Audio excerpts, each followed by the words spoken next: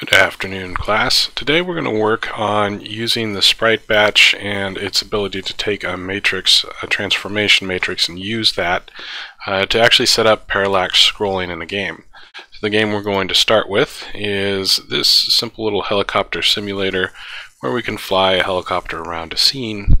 And this background you see is actually made up of three separate textures. There's a foreground, a midground, and a background. And we're going to actually add scrolling, and then we're going to turn that into parallax scrolling. So the first thing we need to do uh, anytime we're going to set up uh, this kind of parallax scrolling is we need to um, figure out how far we need to scroll the world. So we basically need to come up with an offset vector. And that's going to be based on our player class, which has a position vector which tells us where, where it is in the world. So we have this exposed through this public getter. So in our parallax scrolling game, if we scroll down to our draw method is where we're going to do this calculation. And we're going to calculate our offset vector. And this would basically be a value between, uh, or it, it, corresponds to the position the player's in minus some amount of offset we want to use to keep um, the helicopter, the player, towards the middle of the world. And this can be a we can actually use both elements of the vector, or if we only want to scroll in one direction, uh, then we could just use one element of the vector. And that's actually what we're going to do here. Uh, so I'm going to create a uh, vector 2 offset and set that equal to a new vector 2 uh, which is going to be our offset into this world and let's say maybe we want our helicopter to be maybe about halfway across the screen, so 300. And then we're not going to offset in the y direction, so I'm just going to leave that as a, a 0 for now. And then we need to take that offset and we want to subtract from it the player position. But in this case, because I'm only wanting to scroll in the x direction, I'm going to specifically limit this uh, to the x value, and actually let's just throw this in here since we're going to do it this way. So we'll move it up there, dot position, dot x. So this vector, this offset vector, is just going to be uh, 300 pixels into the screen less the current player's position and that's going to be where the edge of our uh, camera should be. And then we can go ahead and apply this. So in our sprite batch begin, there are a number of arguments that we can pick, and you can see they're all listed here. Now we can also, uh, because these are all have default values, we can actually uh, just specify which one we want to apply, which transform matrix is the very last one, by using its name followed by a colon. This is a, a standard C-sharp kind of thing. And we want to provide a transformation matrix, which is going to translate by this offset vector, which is why we need it to be a vector, not just a single value. And we get a matrix from uh, one of the operations that we've looked at, um, and we're going to use matrix.create translation, and this takes a position vector, which is why we calculated, well actually in this case, I guess we could do a float, and just make this be instead of a vector, because all we're offsetting right now is the x position. So we're going to create a translation, and there are multiple overrides here. We can take a vector 3, uh, we can take a vector or a float for each of the different values. And since we have our offset here, we'll just go ahead and use that for the x. And the y and the z, in this case, we're not going to actually change, so we'll leave those at zero. If we are doing this uh, with also the y, then we need to calculate the y, and it might make more sense to use a matrix, and then, or sorry, a, a vector, and then we could just subtract vector values. So down in here, we're going to apply our transform. And now if we run this again, you can see now our helicopter stays at the same spot in the screen and the rest of the screen scrolls past us. But you also noticed that at the very start of the game half of our world or a, chunk of our world is just off screen and that's because this design that we're using, uh, we're just using a straight up linear action there. Now what we want to do probably is clamp that value. So we'll use offset uh, and set that equal to mathhelper.clamp which takes three floating point values, the value that we want to clamp, the amount we want to clamp it to, and since our offset is 300, if we go go ahead and add this 300 back in, we're saying, okay, it, this value we calculate for our offset needs to be at least 300 pixels so we can counter off counter this 300 pixels. So if our player happens to be too close to the edge, um, we're basically going to offset that by 300 to make sure that we're showing just the part of the world we want to show.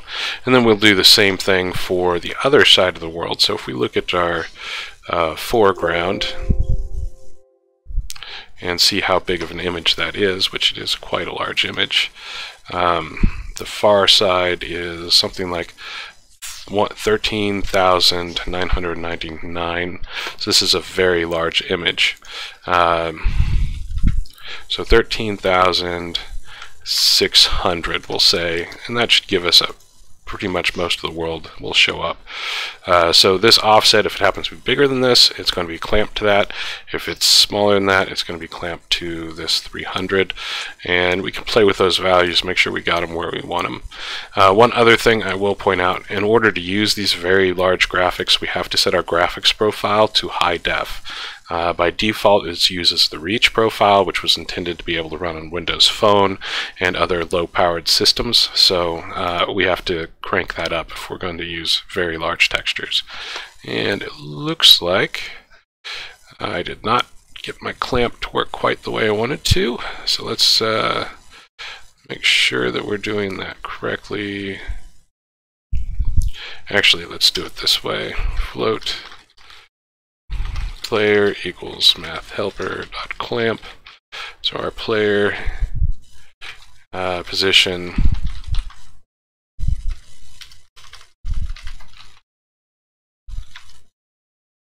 needs to be, in this case, we'll say between 300 and what did we use for that maximum? 13, 620. And then instead of actually using the player position in this calculation, we'll use this uh, player value. Let's make it player x. Let's make this offset x. There we go. Let's try that again.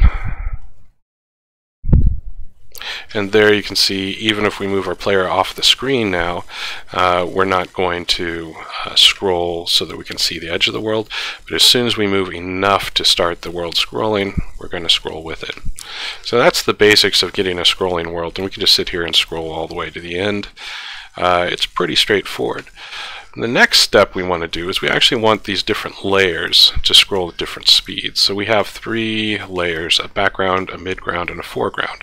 So the foreground we want to scroll at the same speed of the player. So we're going to leave that one alone, but we want to scroll the other two uh, at different speeds, which means they need to have their own offset uh, that we use for the transformations. So we're going to have to have multiple sprite batch begin and end calls because each one of these is going to get its own transformation vector.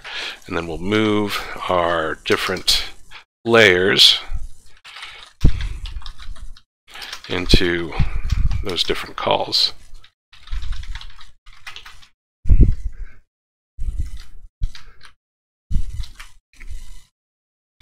And this will be our background.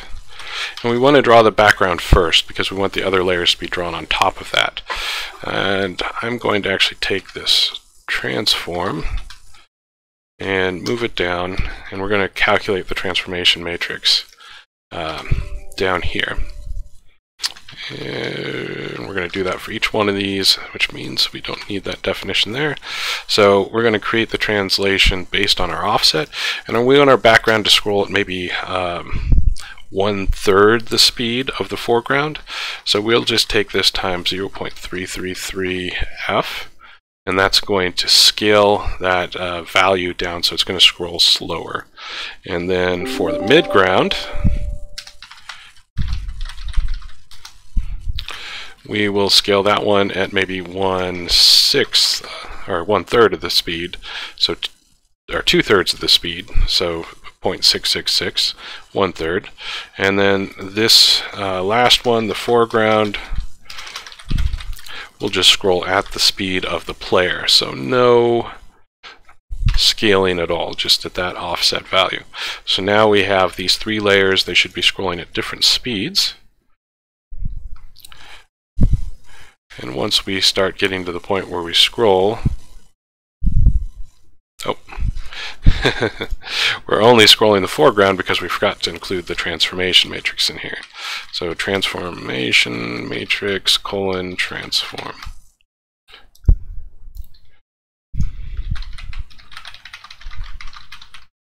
A transform matrix. Transform.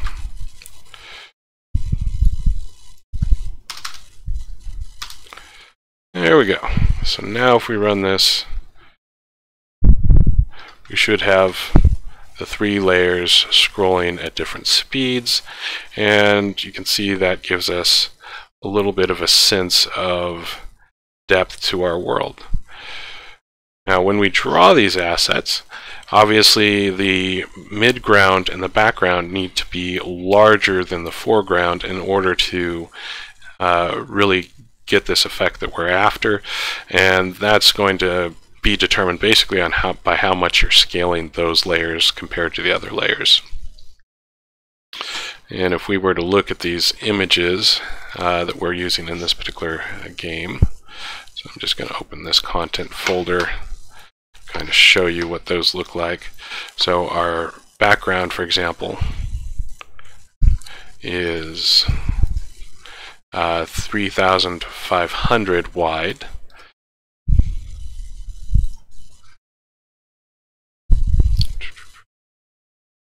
Folder, not the file.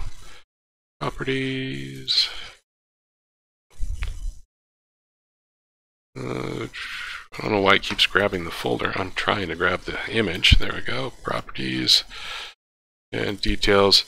The last one was about 35,000. This one is about 140,000. And if you remember, our uh, and our midground is going to fall between those. So those are very large images that are stretched um, out to the, the, size that we're looking for. Now obviously uh, these kind of very large bitmaps, they work fine on a, a, more powerful machine, but this is not going to be uh, appropriate for every machine. They're going to take up a lot of space in video RAM. On a modern system, Often that's not a huge deal, especially if it's a gaming computer, because the amount of memory that we're consuming for this simple 2D game versus a AAA uh, 3D modeled game is, is pretty small, but it is there and it is something you need to be aware of. Uh, that's why, for example, a lot of the traditional uh, scrolling games that we've seen, you'll see in the older days, like the NES and Super NES games, actually took advantage of tile maps, and we'll talk about tile maps uh, in a future lesson.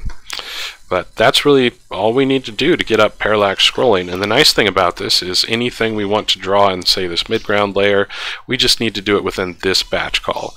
Anything we want to draw in the background, we just need to put it in this batch call. And anything we want in the foreground, we just need to put it in that batch call. And then we'll all have them all scrolling appropriately. And we don't need to do anything else to position them in the world. We can just go ahead and put them at the normal spot in the world and render them at that spot, and it will show up exactly where we want it to. So that's it for today. Have a good week.